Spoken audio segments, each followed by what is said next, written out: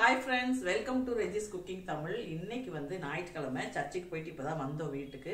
இன்னைக்கு வந்து நம்ம தையல் வேலை எதுவும் கிடையாது. இன்னைக்கு வந்து நம்ம கடைக்கு லீவு மற்றபடி பார்த்தீங்கன்னா வீட்டில் நிறைய வேலைகள் இருக்குது. நம்ம ஒன்று ஒன்றா அப்படி வீடியோ எடுக்க ஆரம்பிக்கலாம். எந்த அளவுக்கு வீடியோ எடுக்க முடியும் தெரியல. ஏன்னா நிறைய வேலை. ஒன்று வந்து புளி காய்ச்சணும். புளி தொக்கு செஞ்சு கொடுத்து விட்டோம்னா என் பொண்ணுக்கு வந்து ஹாஸ்டலில் இருக்கா. அவளுக்கு வந்து வசதியாக இருக்குங்கிறதுக்காக கொஞ்சம் புளி தொக்கு கொஞ்சம் செய்யணும். அப்புறம் கொஞ்சம் ஸ்நாக்ஸ் செய்யணும். கொஞ்சம் முறுக்கு செய்யணும். நிறைய பிளான் இருக்குது. சரி அப்படி அப்படி ஒன்று ஒன்றா முடியிற வரைக்கும் வீடியோ எடுக்கலாம். வீட்டு வேலையும் நிறைய இருக்குது. சரி வாங்க வீடியோக்குள்ளே போகலாம்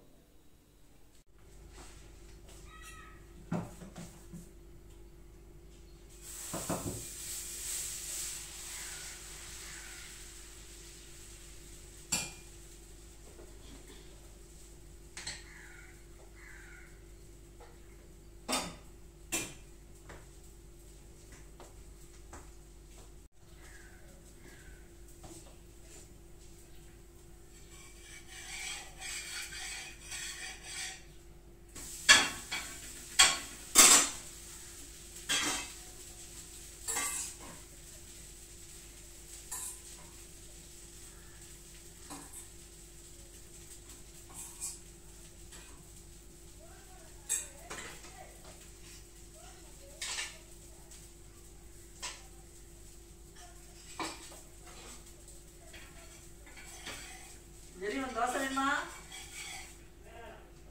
இந்தா. இதை வந்து கழிச்சோ.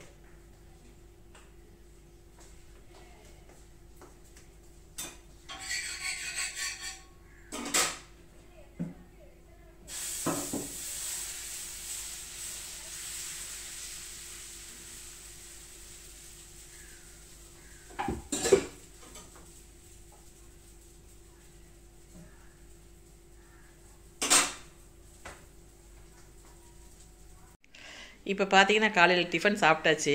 அடுத்தது வந்து புளி கரைசல் அவளுக்கு கொண்டு போகிறக்காக வந்து புளி புளி தொக்கு புளி புளி சாப்பாடு செய்கிறோம் பாருங்கள் அந்த தொக்கு நான் ஏற்கனவே ட்ரையாக பவுட்ரு மாதிரி கொடுத்து விட்ருந்தேன் இருந்தாலும் இப்படி கொஞ்சம் வேணுமாம்மா அதனால வந்துட்டு கரைச்சி கொடுத்துட்டாலும் நம்ம அடுத்தது வந்து தாளிச்சிக்கலாம். இது பார்த்திங்கன்னா ஒரு கால் கிலோ கால் கிலோ இல்லை ஜாஸ்தியே இருக்கும். அரை கிலோ கொஞ்சம் கம்மியாக இருக்கும். அதை வந்து நம்ம கரைச்சி எடுத்துட்டு வடிகட்டிக்கலாம் நல்லா வடிகட்டி தாளித்து கொஞ்சம் அதிகமான எண்ணெய் ஊற்றி தாளித்து வச்சுக்கிட்டோன்னா நமக்கு வந்துட்டு ஈஸியாக இருக்கும். என்ன செய்வ சொல்லு? நம்ம தொக்கு சரி பண்ணி கொடுத்தோம்னா? சோறு மட்டும் வச்சுட்டு இதை போட்டு கிண்ட வேண்டியதான் வேறு எதுவுமே நீ சேர்க்க வேண்டாம். எல்லாமே இதில் இருக்குது.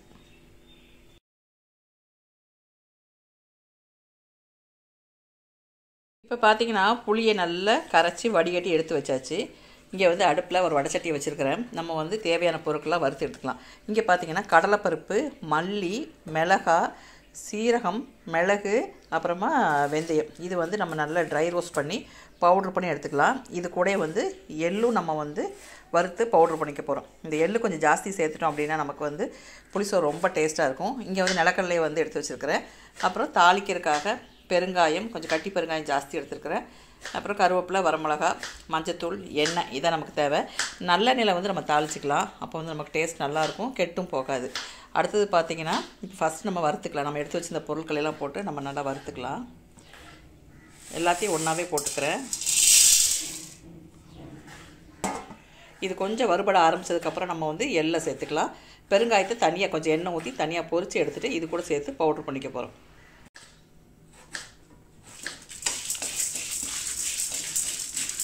மீடியம் ஃப்ளேமில் வச்சு வறுத்துக்கலாம். அப்போ தான் வந்து நமக்கு பவுடர் ரொம்ப நாளைக்கு கெட்டு இந்த பவு புளிசா புளிசோறு வந்து புளி மிக்ஸ் வந்து ரொம்ப நாளைக்கு கெட்டு போகாமல் இருக்கும். நம்ம ஹை ஃப்ளேமில் வச்சு வறுத்துட்டோம் அப்படின்னா இதோட உள்பக்கம் வந்து கடலைப்பருப்போட உள்பக்கம்லாம் வறுபடாமல் அப்புறம் நமக்கு சீக்கிரம் கெட்டு போயிடும். அதனால் மீடியம் ஃப்ளேமில் வச்சு நல்லா ட்ரை ரோஸ்ட் பண்ணி எடுத்துக்கலாம்.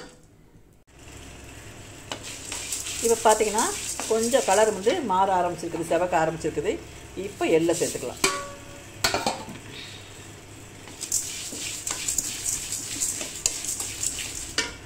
இப்போ பார்த்தீங்கன்னா எள்ளும் போட்டு எல்லாம் பொரிய ஆரம்பிச்சிருச்சு. ஸ்டவ் ஆஃப் பண்ணிவிட்டு நம்ம இதை எடுத்துக்கலாம்.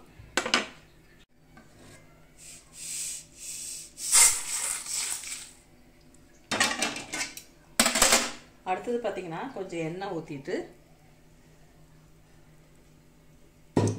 நம்ம எடுத்து வச்சுக்க பெருங்காயத்தை பொரித்து எடுத்துக்கலாம். இப்போ பார்த்தீங்கன்னா ஒரு பக்கம் பொரிய ஆரம்பிச்சிச்சு திருப்பி விட்டுக்கலாம் திருப்பி விட்டு இப்போ பார்த்தீங்கன்னா நல்லா பொரிஞ்சிச்சு இதையும் எடுத்து நம்ம ஏற்கனவே வறுத்து வச்சுருக்கிறத கூட போட்டு சேர்த்துக்கலாம்.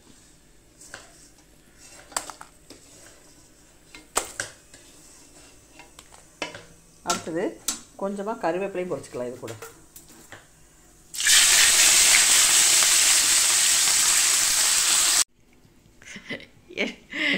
என்ன சொன்ன இப்போ?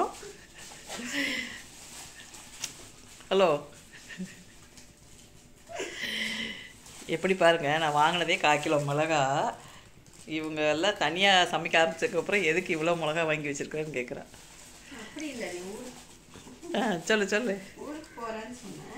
அப்புறம் எதுக்கு வேஸ்ட்டாக போய் ஃப்ரிட்ஜில் தானே இருக்குது போகுது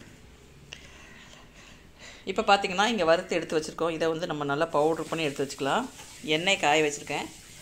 எண்ணெய் காஞ்சோடனே கடுகு வெந்தயம் தாளித்து வரமிளகாயும் கருவேப்பிலையும் தாளிச்சிட்டு நம்ம கரைச்சி வச்சுருக்கிற புளி பேஸ்ட்டு ஊற்றிட்டு உப்பும் மஞ்சத்தூள் போட்டு நல்லா கொதிக்க விட்டலாம் எண்ணெய் காஞ்சிருச்சு இதில் வந்துட்டு கடுகும் வெந்தயமும் சேர்த்துக்கலாம்.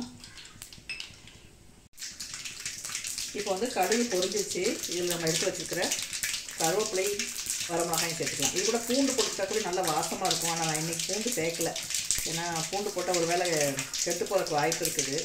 அதனால் நான் பூண்டு சேர்க்கல இதை மட்டும் தான் சேர்க்குறேன் அடுத்தது நிலக்கடலை சேர்த்துக்கலாம்.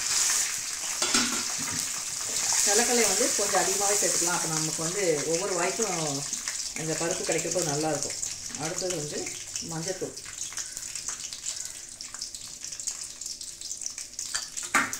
மஞ்சத்தூள் சேர்த்துட்டு நம்ம எடுத்து வச்சுக்கிற புளி கரைசலை ஊற்றிக்கலாம் நிலக்கடலை வந்து நல்லா வறுபட்ட உடனே நம்ம கரைச்சி வச்சுருக்கிற புளி தண்ணியை சேர்த்துக்கலாம்.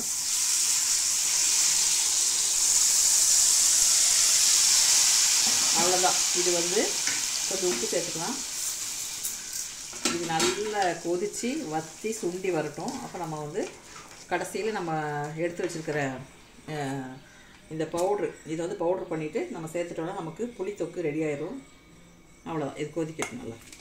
இங்கே பார்த்தீங்கன்னா புளித்தொக்கு வந்து கொஞ்சம் வத்த ஆரம்பிச்சிச்சு நம்ம ரொம்ப வத்த வைக்க வேண்டாம். ஏன்னா நம்ம இந்த பவுட் இந்த பொடியை போடுறப்போது ரொம்ப கட்டியாயிரும்.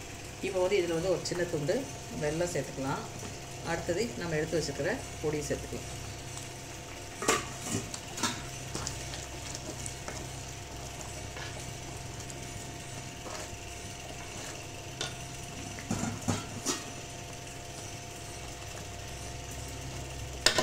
இந்த பொடியெல்லாம் போட்டு ஒரு ரெண்டு கொதி வந்தோடனே நம்ம வந்து ஸ்டவ் ஆஃப் பண்ணிக்கலாம்.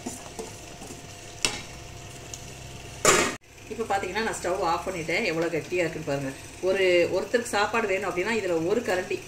இந்த மாதிரி ஒரு கரண்டி எடுத்து போட்டால் போதும். ஏன்னா புளிப்பு உப்பு காரமாக இருக்கும்.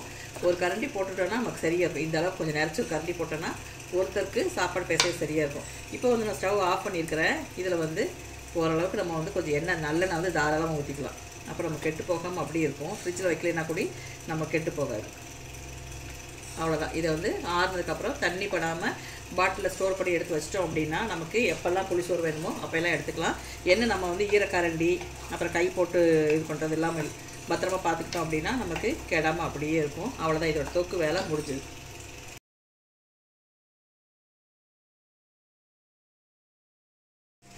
இப்போ பார்த்தீங்கன்னா புளி தொக்கு ரெடி ஆயிடுச்சு. அடுத்தது முறுக்கு செய்ய போகிறேன் இது வந்து ஏற்கனவே நான் ரெசிபி போட்டிருந்தேன். கிறிஸ்மஸ் டைமில் போட்டிருந்தேன் பாசி பருப்பு முறுக்குன்னு சொல்லிட்டு போட்டிருந்தேன் செம்ம டேஸ்ட் அது. இப்போ வந்து அந்த முறுக்கு மாவு இருந்தது. அந்த மாவில் வந்து கொஞ்சம் வெண்ணெய் சேர்த்துக்கலாம். அதே மாதிரி தேவையான அளவுக்கு உப்பு.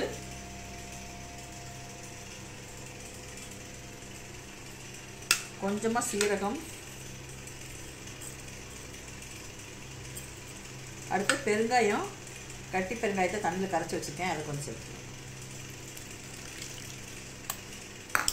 அவ்வளோதான் இதை வந்து நம்ம நல்லா மிக்ஸ் பண்ணிவிட்டு தேவையான தண்ணி ஊற்றிக்கலாம் கொஞ்சம் அடுப்பில் எண்ணெய் சூடாகிட்டு இருக்குது. அந்த அந்த சூடு எண்ணெயை ஊற்றி கொஞ்சம் பிசைஞ்சோன்னா நல்ல சாஃப்டாக ஒரு முறுக்கு நல்ல பொறு பொறு முருன்னு இருக்கும். இது ரொம்ப நல்லா இருக்கும். சார் ஹார்டாகாமல் ரொம்ப நல்லா இருக்கும் முறுக்கு. ரொம்ப ரொம்ப ஈஸியாக இருக்கும் இந்த முறுக்கு செய்கிறது இது கொஞ்சம் வந்து காரம் போடாதது. இங்கே நான் பிசைஞ்சு வச்சுருக்க மாவு. இதில் வந்து மிளகாத்தூள் போட்டேன். அதில் ஒரு ரெண்டு மூணு முறுக்குக்கு மட்டும் மிளகாத்தூள் போடலை. ஏன்? ஏன்னா மறந்துட்டேன். மறந்துட்டேன். இதை தூக்கி அதுக்குள்ளே போடு ம். ரொம்ப ஈஸி தெரியுமா? அதே மாதிரி டேஸ்ட்டும் செம்மையாக இருக்கும் இந்த முறுக்கு. எண்ணெய்க்குள்ளேயே தூக்கிக்கலாம். இடம் வந்துச்சுன்னா இதெல்லாம் சுட்டு முடிச்சு கடைசியில் பார்க்கலாம். என்னோட முறுக்கு வேலை முடிஞ்சது.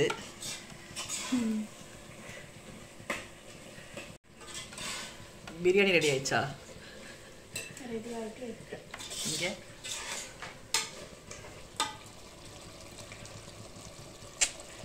மதுரைக்கு போனதுக்கப்புறம் ரொம்ப சமையலில் ரொம்ப முன்னேற்றம்.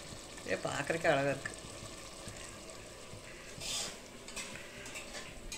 அவ்வளோதான் இதோட வீடியோ முடிச்சுக்கலாம். அடுத்தது நிறைய வேலைகள் இருக்குது. அதை போய் பார்க்க போகிறேன் இது வந்து நம்ம வீட்டில் உள்ள சிக்கன் சிக்ஸ்டி ஃபைவ் மசாலா உள்ளே எழுதி போட்டிருக்கேன். என்னன்ட்டு லேபிள் ஓட்ட மறந்துட்டேன். இங்கே பார்த்தீங்கன்னா நம்ம செஞ்ச புளித்தொக்கு. அடுத்தது முறுக்கை வந்து பேக் பண்ணியாச்சு. இதெல்லாம் வந்து அவங்க ஃப்ரெண்ட்ஸுக்கு கொடுக்குறக்காக அதனால் தனித்தனியாக பேக் பண்ணி எடுத்து வச்சாச்சு. அவ்வளோதான் நம்ம வந்து இதெல்லாம் எடுத்து வச்சுட்டு மற்ற வேலைகள் பார்க்க ஆரம்பிச்சிடலாம். அடுத்த வீடியோவில் பார்க்கலாம். பாய்